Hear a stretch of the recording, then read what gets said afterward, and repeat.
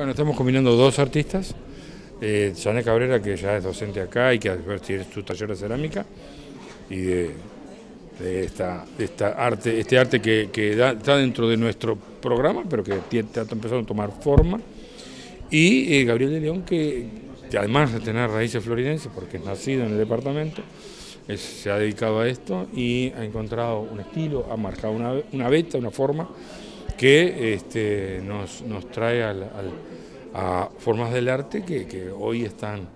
muy fuertes y muy vigentes. Así que lo que estamos haciendo es haciendo arte contemporáneo, de gente que está trabajando ahora en el arte, que es lo bueno, porque aparte les da posibilidades de acercarse a ellos, a los artistas, no solamente a su arte, en combinación con otras exposiciones que hemos hecho y que nos permite mantener activos y siempre este, en movimiento eh, las salas todas las salas y en este caso con dos exposiciones nuevas. Tenemos ahora, la meta inmediata es el 14 de,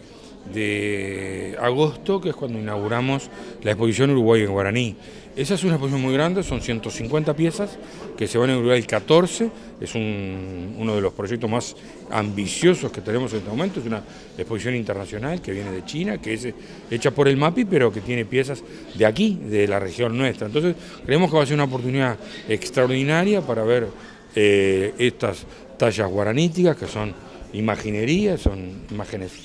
este, religiosas y que son de, muchas de ellas traídas desde las, misiones, otras posiblemente confesionadas aquí en, las, en la zona de, San Borja del Chique, donde estuvo el asentamiento jesuita guaraní o eh, diríamos este, indígena misionero.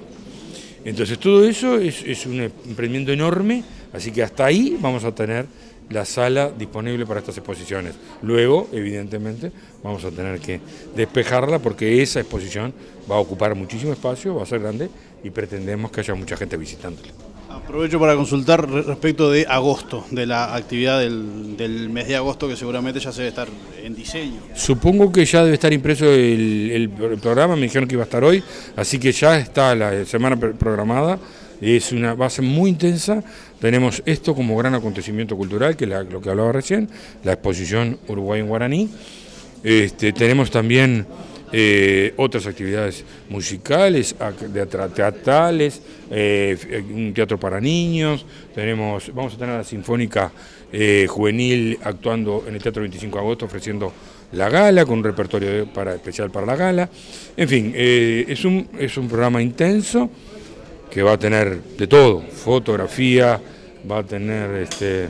queremos también que haya no solamente exposiciones, sino que haya también interacciones con artistas, por ejemplo, una actividad que consideramos que va a ser importante y valiosa, va a ser unos talleres de fotografía que vamos a hacer sobre fotoperiodismo, este,